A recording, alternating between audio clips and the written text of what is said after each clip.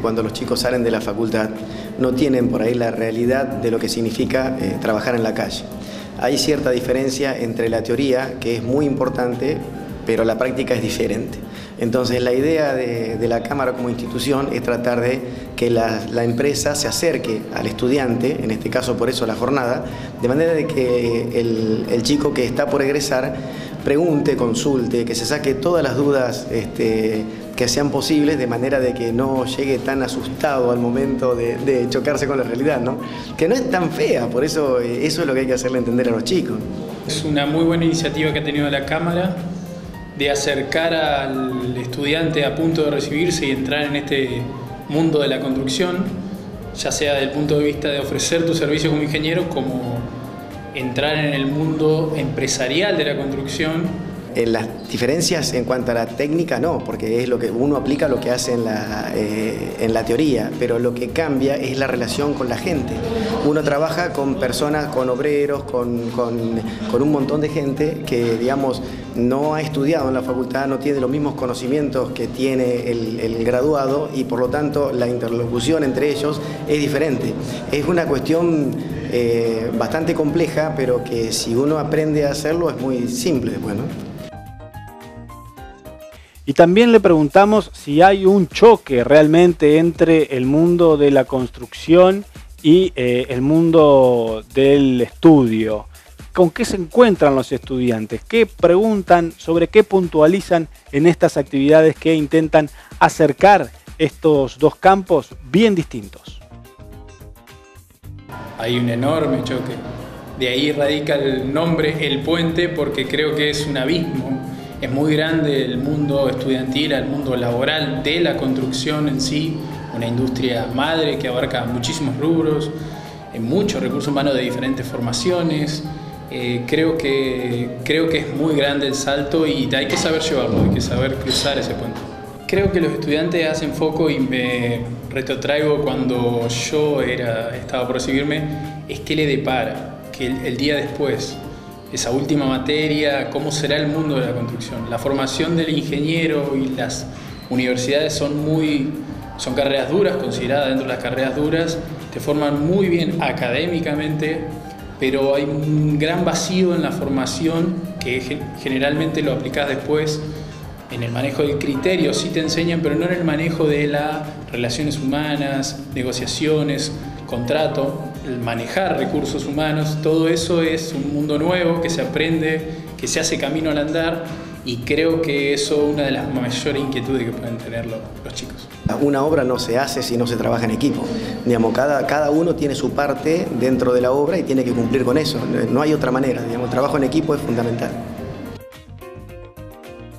Y también hablamos allí en la Universidad Tecnológica Nacional con otros de los disertantes de la jornada del puente que es un ingeniero, Mario Puskovich, y un contador, Marcelo Bonzón, pero que tienen formación en tratamiento de innovación, en gestión del cambio y en manejar recursos humanos, más allá de que a algunos no les guste hablar de recursos humanos, sino de personas y demás, pero eh, tratan estos temas más blandos, si se quiere, no tan de formación eh, en carreras duras como suelen ser las ingenierías o la propia arquitectura, y también en un rubro en el que la innovación y el cambio en los últimos años se está imponiendo cada vez con mayor fuerza.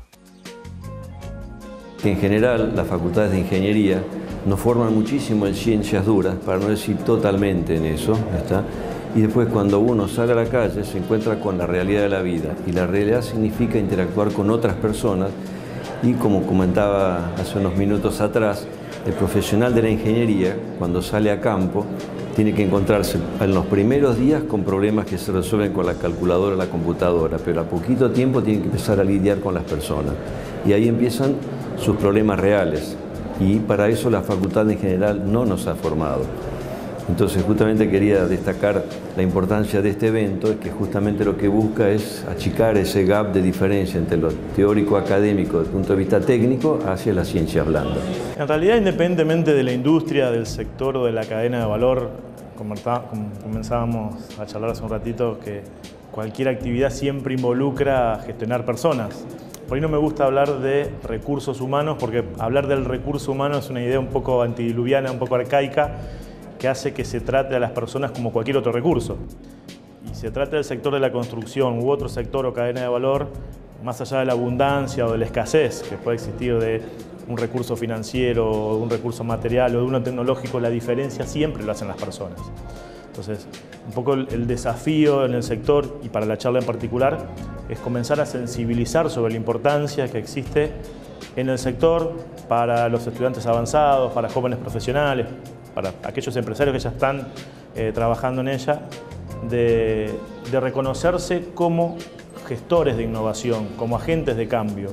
Eh, el mercado está exigiendo de alguna manera eh, profesiones multidisciplinarias y la innovación viene a ser un componente muy interesante para generar ese valor agregado tan requerido. Y también le preguntamos en esta parte de la charla cuál es la problemática hoy que observan estos profesionales que tienen gran experiencia en lo que es coaching y trabajo en equipo en la industria de la construcción. ¿Cómo trabajar el cambio en una industria que es eh, tan interdisciplinaria, que trabajan tantos gremios distintos que confluyen en una obra?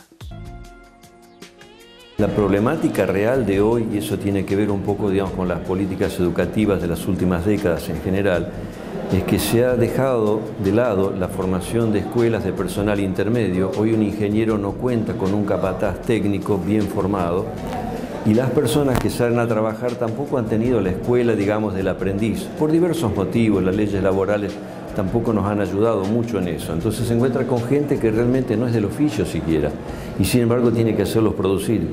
Y quiera o no, el hormigón se bombea con bombas y ese tipo de cosas, pero después a la hora de la cuchara, digamos, cuando, hay que instalar el material, es una mano humana que tiene que hacerlo. Entonces tiene que lidiar con eso, de que él tiene una preparación, en principio, muy buena, y tiene que lidiar con gente que no solo tiene preparación, no conoce el rubro directamente, pero que honestamente busca un trabajo. Entonces, ese es el gran inconveniente.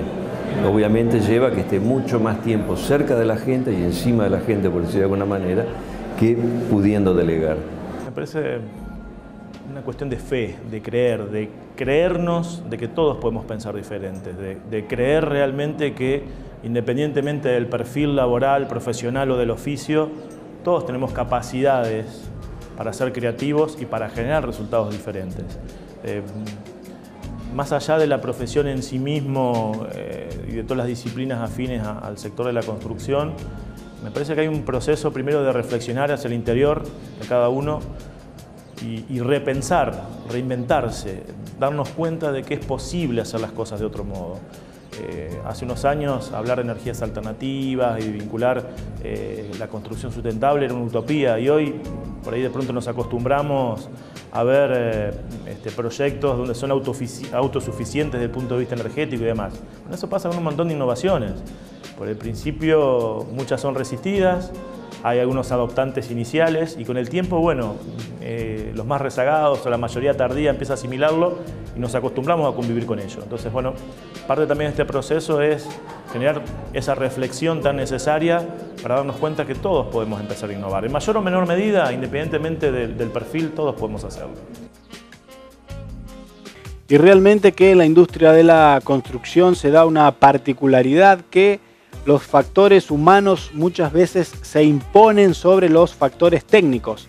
Les preguntamos al ingeniero Puskovich y al contador Marcelo Bonzón sobre esta cuestión. ¿Cuánto hay de factor humano? ¿Cuánto de factor técnico? ¿Y cómo hay que trabajar la innovación y el cambio para que los jóvenes sean agentes impulsores para imponer nuevas tendencias en la industria de la construcción? Te lo digo con experiencia ya directamente de consultor en gestión en diversos tipos de empresas. Y te digo, el balance mío del día, hace 10 años atrás era 85% factor humano o, lidiar con problemas con la gente y 15% cuestiones técnicas. Hoy ya lo levanté al 90 o 92. Factor humano versus factor técnico. Hay algunas profesiones que son un poco estructuradas, pero... Eh, el objetivo que tenemos con esto es primero reflexionar sobre la importancia que tiene pensar de un modo diferente. Eh, no hablo de aprender a desaprender, es un término bastante de moda en el último tiempo porque el proceso de aprendizaje es continuo, es permanente, pero sí pensar o aprender de una forma distinta, diferente. Solo en la medida, se trate de un ingeniero, de un arquitecto, de un maestro mayor de obra, de cualquier otra profesión, solo en la medida que esas personas eh, tengan buena predisposición a pensar diferente, van a lograr resultados diferentes. Hay un montón de ejemplos. Eh, normalmente a mí no me gusta por ahí hacer tantas clasificaciones o tantos eh, encuadramientos. Siempre se habla de innovaciones en procesos, en productos, o innovaciones organizacionales o de gestión, o incluso de comercialización. Eh, el punto de partida es encontrar dónde hay fuentes de oportunidades para innovar. En el sector de la construcción muchas veces preguntas cómo se lleva a cabo la administración de una obra y cuando preguntas si se hace un control documentado de ejecución de obras, si usan alguna app en su teléfono inteligente y más de una vez la respuesta te dice el teléfono es para hablar. Entonces, evidentemente hay que hacer un proceso previo de reflexión y darnos cuenta de que eh, la innovación tecnológica llegó hace mucho tiempo para quedarse y es bueno también valerse de ella si simplifica un montón de procesos, ya sea en el sector de la construcción o cualquier otro sector afín.